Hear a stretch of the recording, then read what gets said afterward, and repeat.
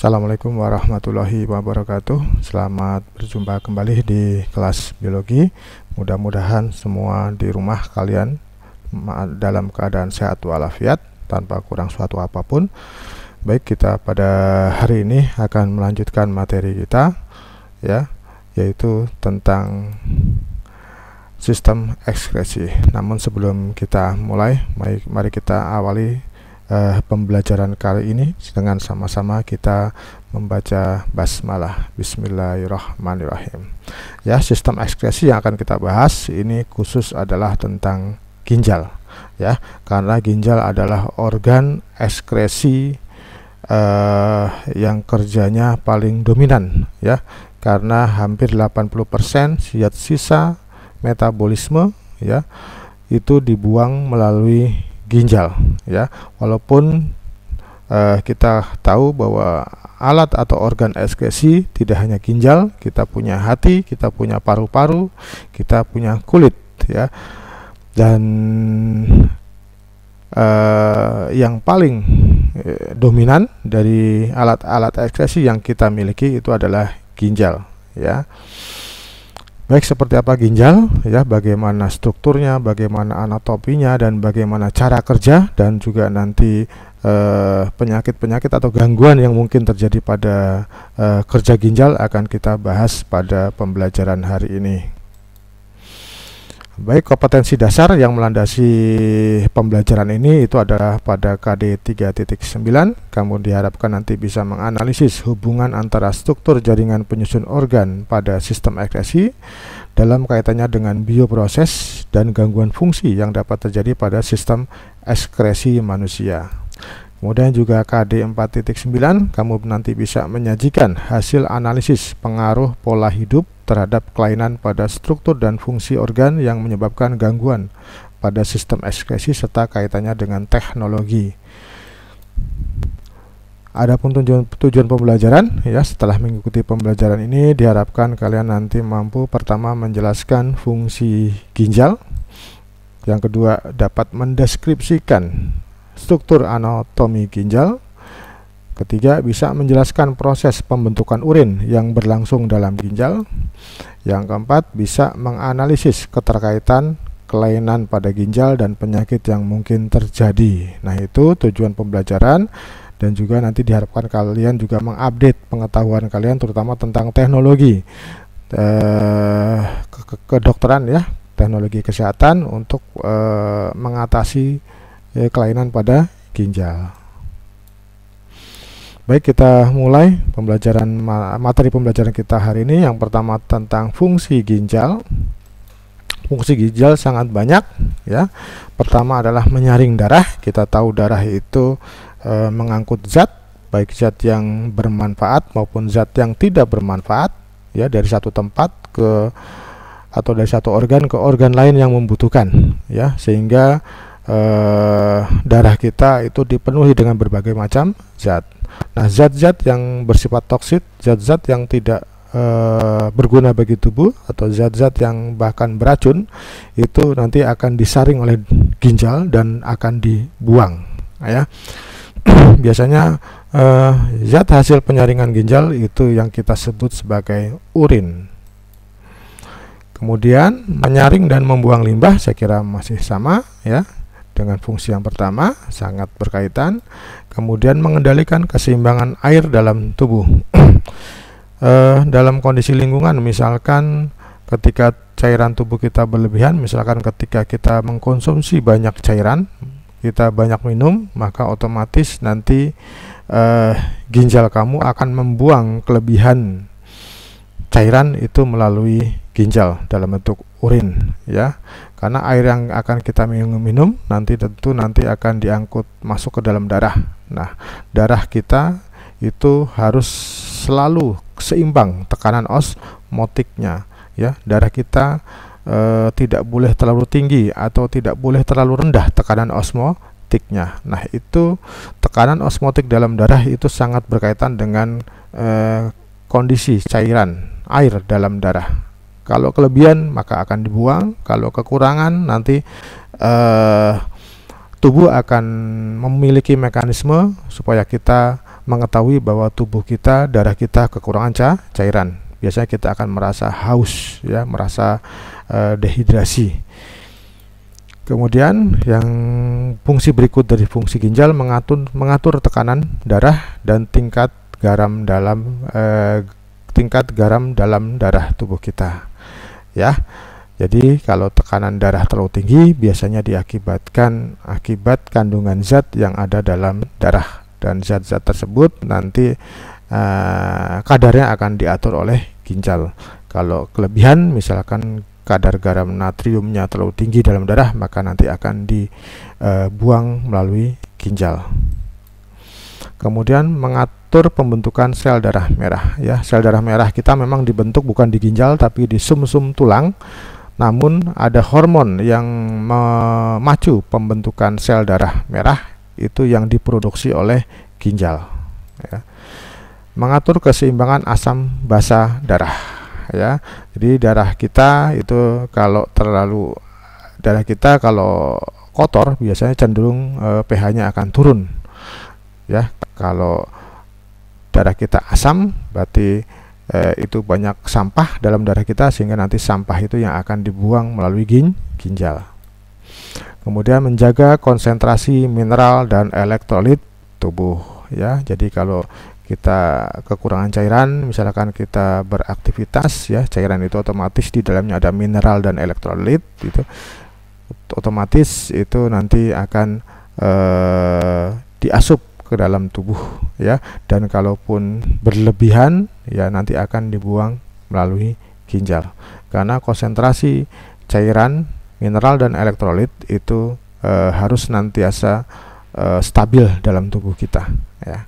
Kalau tidak stabil berlebih atau e, kekurangan maka akan menjadikan e, homeostatis tubuh kita berubah ya tentunya kalau homeostatis berubah nanti menyebabkan tubuh kita mengalami berbagai macam penyakit atau gangguan. Nah itu fungsi ginjal yang sangat penting bagi tubuh ya menjaga eh, keseimbangan ya salah satu organ yang berfungsi menjaga eh, keseimbangan terutama cairan dalam tubuh kita. Nah ini struktur ginjal ya struktur ginjal. Kita punya dua buah ginjal ya letaknya di rongga perut bagian bawah sebelah belakang ya. Bentuknya seperti kacang kurang lebih ya. Bentuknya seperti kacang jumlahnya pasang kemudian berwarna merah tua ya. Terus panjangnya hanya 10 cm panjangnya hanya 10 cm sampai 12 cm kecil ya. Kecil saja tidak besar ginjal kita lebih kurang sebesar kepalan tangan orang dewasa ya. Silakan mengepalkan tangan. Nah sebesar itulah e, satu buah ginjal kita. Kemudian beratnya ya juga ringan ya cuman 175 gram paling berat ya. Kemudian terletak dalam rongga perut bagian belakang ya. Sehingga kalau eh, kalian mengalami nyeri bagian pinggang belakang atau rongga perut rongga perut bagian bawah ya sebelah belakang itu eh, bisa uh, diduga ya walaupun tidak pasti ya diduga itu uh, ginjalnya uh, mengalami gangguan. Kemudian perlu kalian ketahui juga makin tua ukuran ginjal ini makin mengecil atau menciut. Ini tentunya berkaitan dengan kerja otot-otot yang ada dalam ginjal. Baik sistem pengeluaran urin berikutnya. Kita tahu bahwa ginjal adalah uh, bagian dari alat ekskresi di mana ekskretnya atau zat yang dikeluarkan itu adalah berupa urin ya. Dan ini bukan hal yang baru saya kira kalian sudah pernah mempelajarinya waktu di bangku SMP ini ginjal kita memproduksi urin ya memproduksi urin dua buah ya. Dan nanti ada pembuluh darah ya ada pembuluh darah yang merah. Ini pembuluh darah arteri renalis yang mensuplai darah ke ginjal yang akan disaring ya.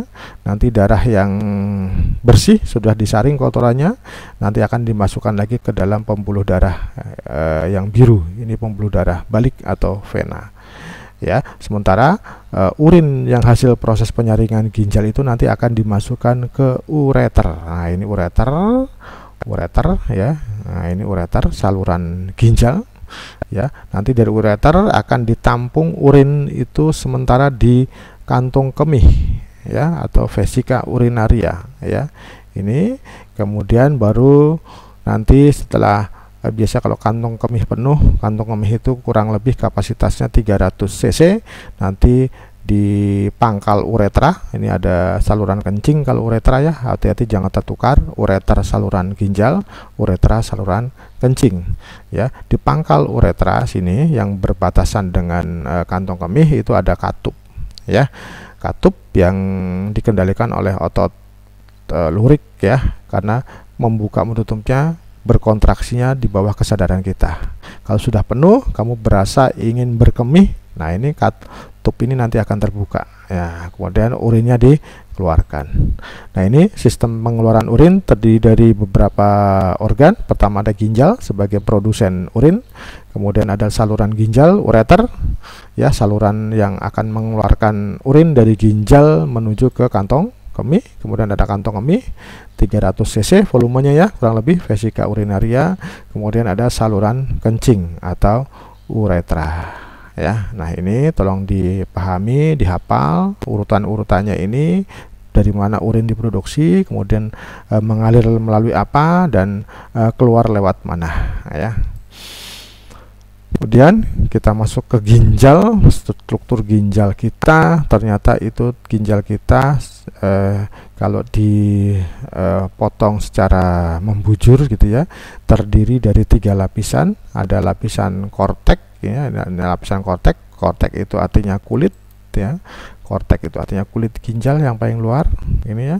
Kemudian lapisan kedua ada medula ini medula ya. Medula yang ada struktur seperti apa ini ya. E, seperti sisik ya. Ini medula atau sumsum. -sum. kemudian ada ketiga ada pelvis ya. Pelvis ini rongga ginjal. Nah ini di sini rongga ginjal ya ini jadi terdiri dari tiga lapis dari luar ke dalam korteks medula dan pelvis pada bagian tengah.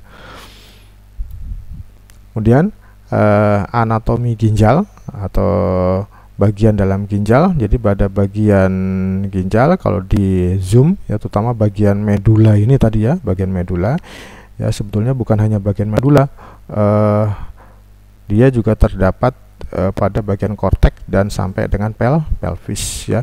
Ternyata uh, ginjal itu dapat berfungsi menyaring darah ya. Jadi ginjal kita punya kemampuan itu mencuci darah kita yang menyaring atau dalam tanda kutip mencuci darah kita sebanyak uh, eh, 200 kali dalam 24 jam. Ya, kita tahu darah kita itu orang dewasa itu 5 liter.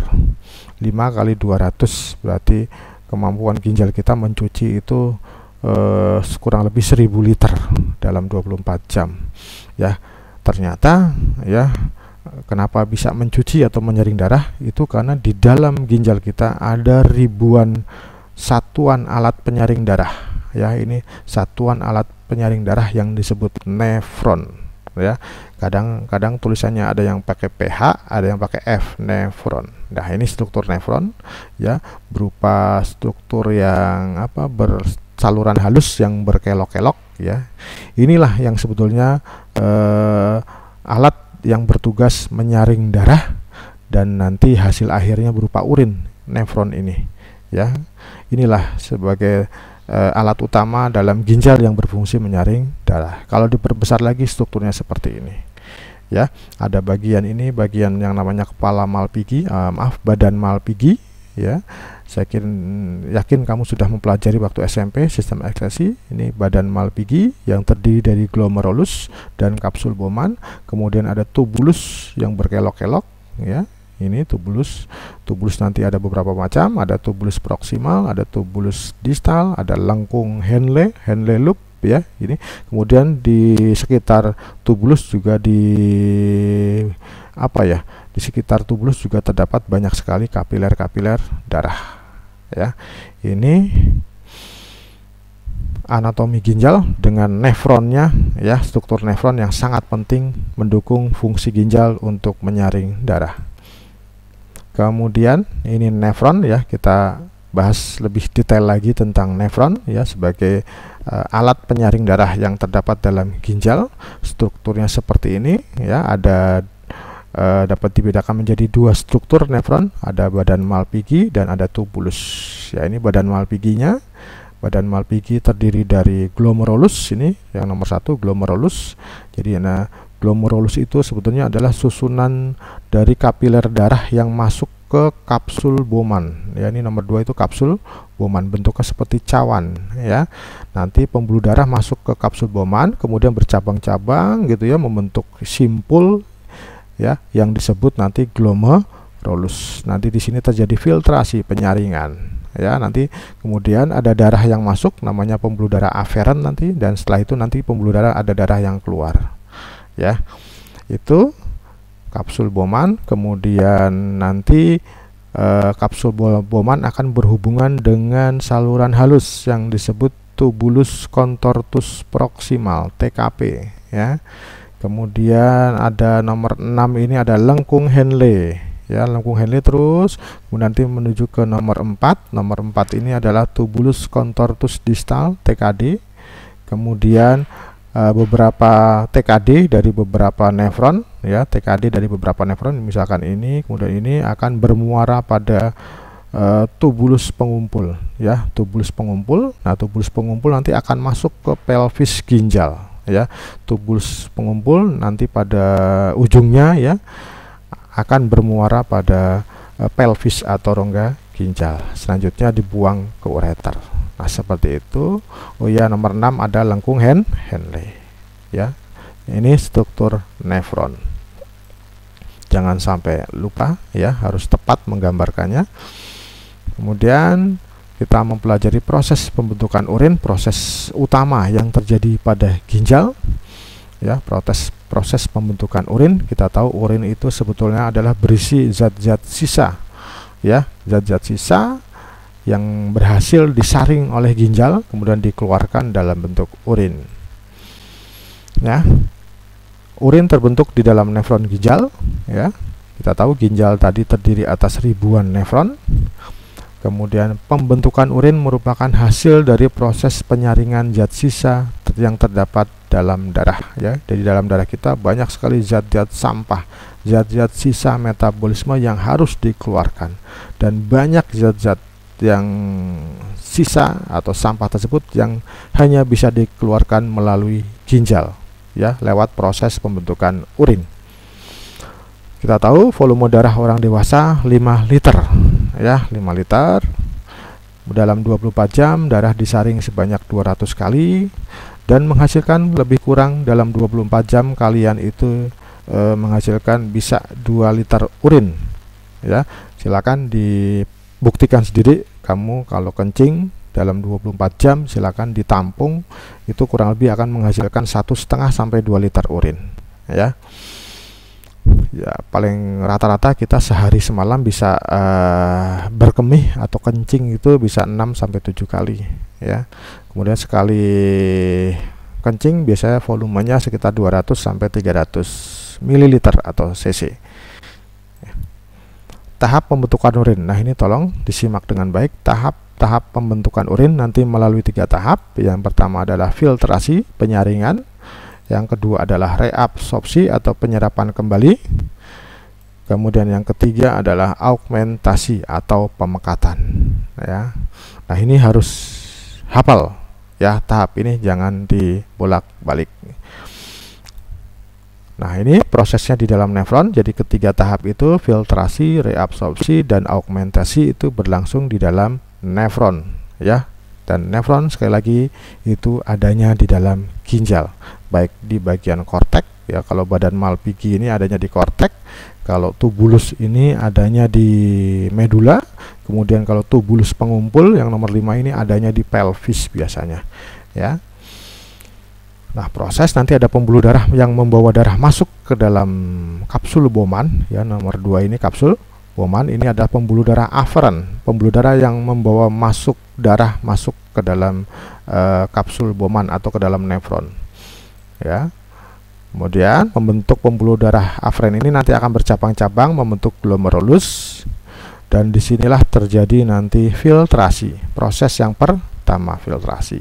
Hasil dari filtrasi nanti sering disebut urin primer. Ya hasil dari filtrasi nanti masuk ke kapsul Bowman nanti kemudian masuk ke tubulus contortus primer eh, mas proksimal ya TKP ini adalah urin primer. Ya itu urin primer itu volumenya masih tinggi. Dalam sehari semalam itu berdasarkan riset itu urin primer itu bisa uh, kurang lebih 20 liter. Ya kalau kamu bayangkan urin primer itu ya satu galon dalam 24 jam. Tapi kan enggak kita mengeluarkan urin itu kan hanya 2 liter paling banyak. Ya berarti ada proses berikutnya yang bertujuan mengurangi jumlah urin prim primer. Proses berikutnya berlangsung di mana? Proses berikutnya nanti berlangsung di TKP Oh ya, ini ada pembuluh darah eferen. Jadi setelah darah itu disaring, difiltrasi, kemudian darah itu keluar melalui pembuluh darah eferen. Tapi tidak keluar ginjal. Nanti pembuluh darah ini akan berputar-putar di sekitar tubulus. Ya. Proses berikutnya adalah uh, berlangsung di TKP, tubulus contortus proximal. Ya, terjadi proses reabsorpsi namanya. Reabsorpsi itu bertujuan menahan zat-zat yang mungkin masih berguna yang terdapat dalam urin primer itu supaya tidak terbuang ya. Nanti dari hasil reabsorpsi itu dihasilkan urin sekunder namanya. Jadi yang masuk ke lengkung Henle, masuk ke TKD ini namanya urin sekunder ya. Jadi reabsorpsi berlangsung di TKP, bahannya adalah urin primer, hasilnya adalah urin sekunder. Kemudian proses ketiga berlangsung di TKD, ya nanti urin sekunder hasil dari absorpsi akan masuk ke TKD akan mengalami proses yang ketiga yaitu augmentasi. Augmentasi itu sebetulnya adalah penambahan zat-zat yang mungkin terdapat zat-zat sisa atau zat-zat yang jumlahnya berlebihan dalam darah ya yang bisa membahayakan tubuh itu nanti akan dibuang melalui langsung ke TK TKD mungkin ada ion-ion yang berlebihan itu akan dibuang langsung ke TK TKD sehingga urin yang ada di TKD yaitu urin sekunder tadi ya itu bertambah pekat ya. Nah nanti dari TKD menjadilah urin jadi atau urin sesungguhnya yang akan dibuang masuk ke tubulus pengumpul nanti masuk ke pelvis ke ureter ke kantong kemih dan ke uretra. Saluran kencing untuk di keluarkan. Nah, demikian proses uh, pembentukan urin.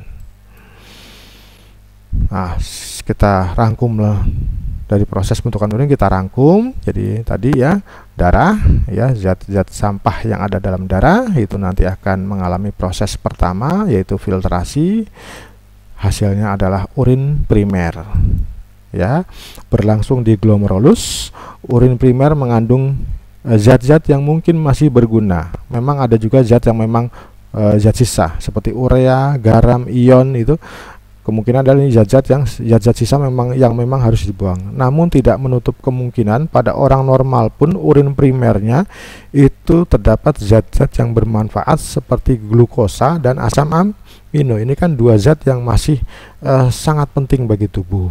Oleh karena itu, glukosa dan asam amino jangan sampai terbuang Nah, oleh karena itu nanti ada proses kedua reabsorpsi yang bertujuan adalah menyerap kembali asam amino dan glukosa ini masuk lagi ke dalam darah.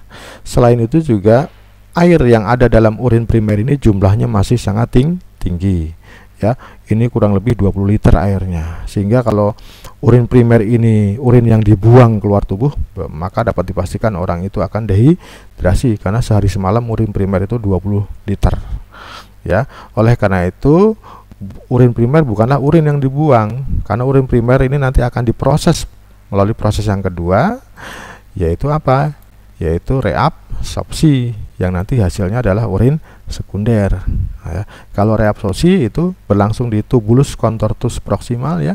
Ini fungsinya adalah menyerap zat-zat yang masih berguna atau menahan zat-zat yang masih berguna supaya tidak terbuang ya ini ada misalkan zat-zat berguna itu adalah air ya air ya dalam urun primer itu jumlahnya masih berlebihan. Kemudian glukosa asam amino ini jangan sampai terbuang. Ini nanti akan dimasukkan lagi ke dalam darah. Kemudian proses reabsorpsi ini perlu kalian ketahui juga ini dipacu oleh hormon yang namanya namanya hormon ADH ya ADH itu kepanjangannya adalah anti diuretik hormon. Silakan dilihat di buku panduan atau di buku pegangan kalian ya bahwa hormon ADH ya yang dikeluarkan oleh kelenjar hipofisis yang ada di otak ya hipofisis bagian belakang itu akan mengeluarkan hormon ADH ya. Hormon yang memacu proses reabsorpsi. Ada beberapa minuman yang bersifat uh, anti yang bersifat minuman yang bersifat diuretik seperti minuman bersoda ya kopi susu itu biasanya minuman-minuman diuretik. Nah minuman diuretik biasanya menghambat ADH sehingga kalau kalian mengkonsumsi minuman-minuman yang bersifat diuretik itu maka ADH tidak akan dikeluarkan sehingga reabsorpsi tidak berlangsung sehingga orang tersebut urinnya akan banyak akan dalam bahasa kita sehari-hari akan mengalami beser. Itu karena ada zat yang dikonsumsi yang menghambat kerja AD ADH ya. Itu kemudian reabsorpsi ini hasilnya adalah urin sekunder ya mengandung air tapi tidak sebanyak pada urin primer urea tentu saja. Kita tahu urea ini dihasilkan oleh eh, hati ya. Urea ini diproduksi oleh hati. Lihat lagi sistem ekskresi bagian hati ya dibaca itu salah satu fungsi hati adalah mengubah amoniak zat toksik menjadi zat yang netral yang namanya urea. Nanti urea dari hati akan dikirim oleh darah menuju ke ginjal dan kulit terutama ya. Itu untuk dibuang. Kalau ginjal nanti akan diubah menjadi urin, kalau ke kulit biasanya e, bercampur dalam keringat ya. Kemudian ada garam dan ion. Ya itu kemudian urin sekunder nanti akan mengalami proses yang ketiga yaitu proses augmentasi yang akan menghasilkan urin jadi atau urin sesungguhnya yang akan dibuang. Berlangsung di tubulus contortus distal ya. Penambahan zat-zat eh, jadi augmentasi itu adalah penambahan zat-zat ke dalam tubulus distal sehingga urin bertambah pekat ya bertambah kental urin urinnya. Urin jadi mengandung Urin jadi mengandung antara lain air, urea, garam, ion, dan lain-lain. Kurang lebih zatnya sama dengan urin sekunder, namun ada beberapa penambahan ion biasanya uh, dan juga kadarnya lebih pekat. Itu tahap-tahap pembentukan urin tolong dipahami dengan baik. Ya. Kemudian volume urin ya kamu mungkin merasakan kadang urinnya banyak, kamu sering merasa ingin berkemih, beser gitu ya. Namun kadang-kadang juga kamu merasa uh, jarang kencing ya. Itu karena memang ada beberapa faktor yang menyebabkan perbedaan volume urin pada tubuh seseorang. Pertama adalah asupan cairan ya. Kalau kamu banyak mengkonsumsi cairan ya, itu biasanya otomatis uh, kelebihan cairan tersebut yang dikonsumsi akan dibuang. Otomatis urinnya meningkat kemudian suhu lingkungan. Ya ketika suhu lingkungan tinggi tubuh kita akan berkeringat. Otomatis nanti kerja ginjal juga agak ringan ya dia tidak terlalu banyak e, membentuk urin ya karena dibantu oleh e, suhu lingkungan yang panas sehingga urinnya cenderung sedikit. Kemudian kelembapan ya kelembapan ini adalah kadar udara eh, kadar uap air dalam uh, udara. Ini sangat berkaitan erat dengan suhu lingkungan. Ya kalau suhu lingkungan panas bisa kita kalau di panas di daerah tropis berarti kelembabannya ting tinggi kecuali eh, panas di daerah eh, gurun pasir itu kelembabannya rendah. Tapi kalau panas di negara kita negara kepulauan kemudian banyak sekali tumbuh-tumbuhan yang lebat-lebat berarti kelembabannya tinggi kalau panas ya.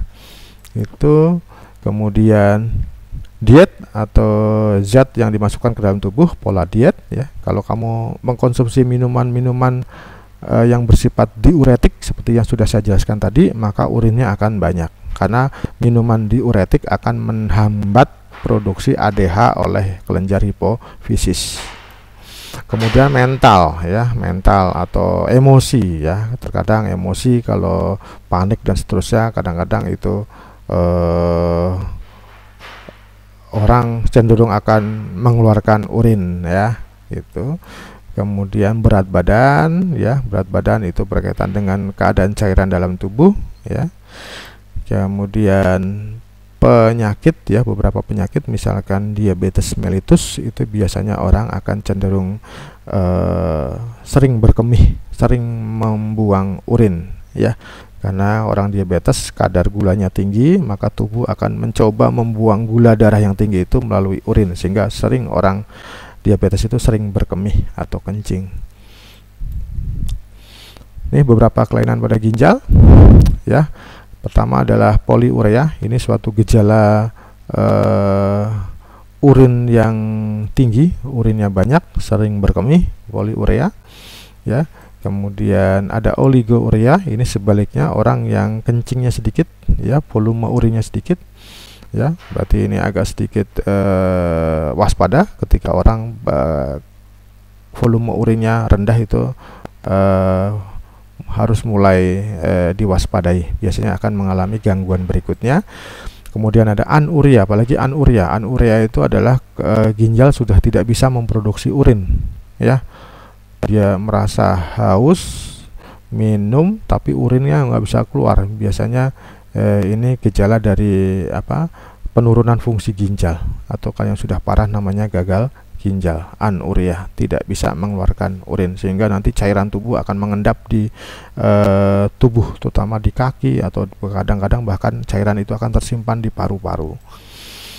Kemudian ada hematuria. Hematuria ini adalah adanya darah dalam urin. Hematuria biasanya ini adalah e, adanya infeksi yang terjadi pada ginjal atau pada saluran ginjal atau pada kantong komih. Kalau ada infeksi, luka biasanya ada darahnya ya dalam urin hematuria kemudian glikosuria itu adanya kandungan gula darah yang tinggi dalam urin. Ini biasanya ciri khas dari diabetes mellitus atau penyakit gula. Kemudian ada albuminuria adanya protein dalam urin ya. Albumin itu protein salah satu jenis protein ya.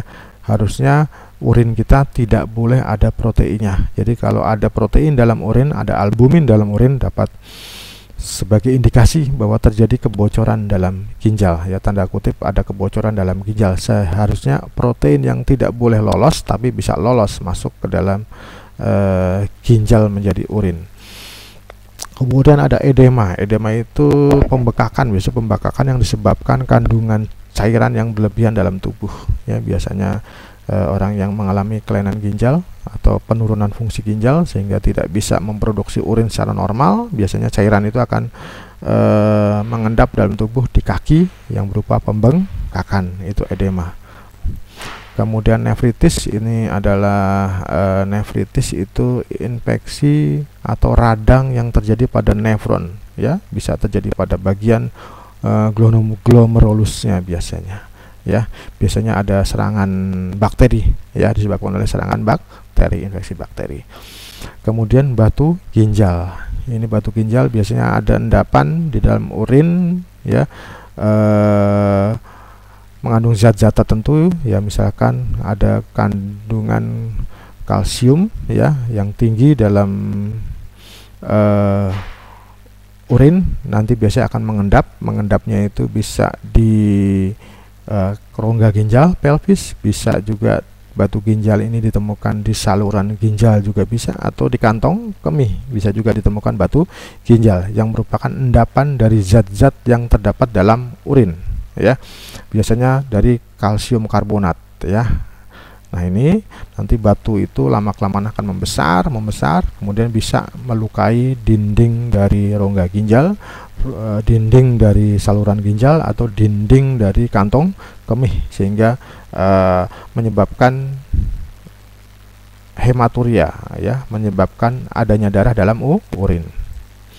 Kemudian ada gagal ginjal. Ini ini gagal ginjal ini adalah penurunan fungsi gin, ginjal ya jadi ginjal betul-betul sudah uh, tidak uh, tidak berfungsi. Tapi biasanya ada tahap-tahapnya. Biasanya gagal ginjal uh, fungsinya misalkan 60% kemudian sampai 15% atau tidak berfungsi sama seka sekali. Ya. Nah biasanya kalau tidak bisa berfungsi sama sekali ginjal kita maka orang tersebut harus dibantu dengan teknologi yang namanya teknologi hemodialisis atau teknologi pencucian darah. Ya alatnya namanya hemodialisator. Nah ini alat D ini proses hemodialisis. Jadi kalau orang mengalami gagal ginjal ya atau darahnya harus atau orang yang tidak hanya gagal ginjal sebetulnya ada beberapa kelainan yang yang mengharuskan orang tersebut darahnya itu harus dalam tanda kutip dicuci. Ya prosesnya namanya hemodialisis.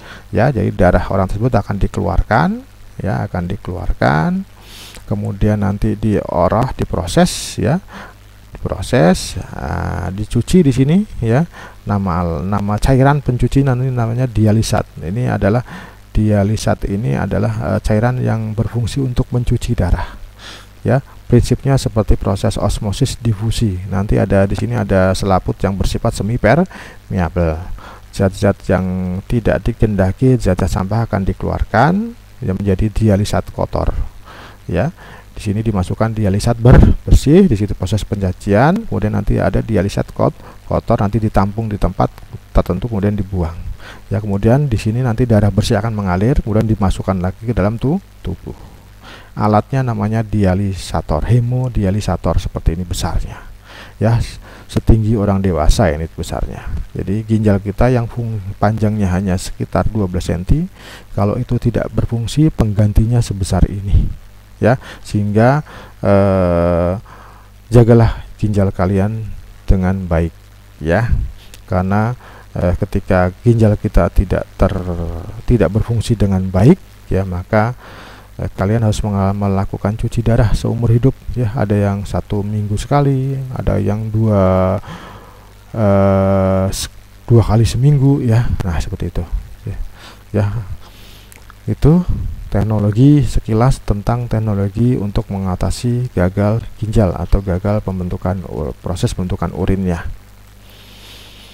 Nah ini ya lindungi ginjalmu. Ginjal adalah organ yang sangat vital bagi tubuh kita terutama kalian masih muda. Tolong jaga ginjal kalian dengan baik ya. Jangan sampai masih muda kemudian harus uh, melakukan hemodialisis ya. Caranya seperti apa? Nah ini caranya ya perbanyak minum air putih ya air mineral ya putih lah ya. Jangan sering mengkonsumsi minum-minuman yang uh, aneh-aneh minum-minuman yang berzat warna minum-minuman yang berzat pengawet. Itu akan memperberat kerja ginjal yang menyebabkan umur ginjal kamu uh, berkurang ya.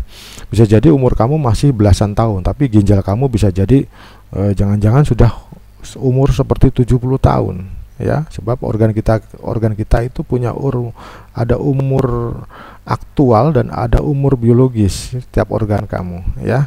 Ya kamu mungkin ginjal kamu umur aktualnya adalah mungkin belasan tahun tahun gitu ya. Tapi kalau diperiksa bisa jadi umur biologis ginjal kamu tuh seperti orang tua sudah. Nah itu kemudian ya perbanyak olahraga tentu olahraga yang sesuai dengan apa ya kondisi tubuh ya. Jangan wah harus olahraga harus olahraga. Belum pernah olahraga langsung dipacu olahraga berat itu juga nggak pas ya. Olahraga ringan dengan olahraga ringan maka tubuh kamu akan sirkulasi metabolisme akan lancar ya. Cairan atau sampah tidak hanya dibuang melalui ginjal tapi juga dibuang melalui kulit melalui keringat. Jadi ketika berkeringat itu sebetulnya membantu kerja ginjal untuk membuang sampah-sampah yang ada dalam tubuh kamu. Ini atau bisa juga perhatikan urin kamu. Jadi warna urin itu bisa digunakan untuk mengetahui kesehatan apa ya mengetahui apa yang harus kamu lakukan ya bagaimana kondisi cairan tubuh kamu itu bisa dilihat lewat warna urin ya. Kalau relatif bening ya ini bening jernih ya ini zona aman. Artinya pertahankan frekuensi konsumsi cairan Anda ya. Kemudian kalau warnanya agak kuning ini ya ini dehidrasi ringan berarti konsumsi harus konsumsi cairan secara rutinnya agak ditambah ya agak ditambah ya. E, artinya kemungkinan ya kamu mengalami dehidrasi tapi belum waktunya belum lama baru-baru aja. Ini dehidrasi ringan. Kemudian ini kalau sudah agak keruh kuning atau cenderung coklat ini ya ini berarti sudah dehidrasi ya dehidrasi. Sedang ya konsumsi cairan lebih banyak lagi. Kemudian kalau dehidrasi berat ini nah seperti ini ini harus segera konsumsi cairan yang cukup banyak. Nah itu ya jadi sayangi ginjal dengan melihat uh, warna urin ya. Jangan biarkan ginjal kamu ya urin kamu sudah berwarna keruh tapi kamu tetap uh, tidak menambah cairan tidak minum ya. Itu karena ginjal akan bertambah berat kerjanya ya. Terkadang kita sering tidak memperhatikan urin kita ya. Kita tidak tahu bahwa tubuh kita dehidrasi tapi eh, apa ya eh, karena kita biasa berada di ruangan yang berpendingin kita nggak tahu tubuh kita dehidrasi. Karena dingin dingin aja kita nggak merasa haus. Padahal tubuh kita sudah membutuhkan cair cairan. Nah itu bisa dilihat di urin kita. Nah ini saya kira demikian ya. Mudah-mudahan penjelasan saya ini bisa dipahami dengan baik dicerna dengan baik diserap dengan baik pula dan bermanfaat bagi kalian. Saya kira cukup ya. Saya akhiri wassalamualaikum warahmatullahi wabarakatuh